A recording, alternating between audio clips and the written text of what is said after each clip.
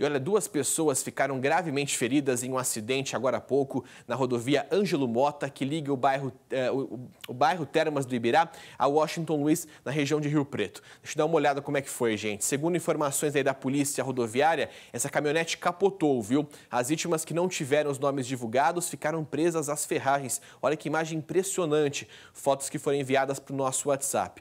Elas foram socorridas pelo Corpo de Bombeiros e encaminhadas para o Hospital Padre Albino, em Catanduva.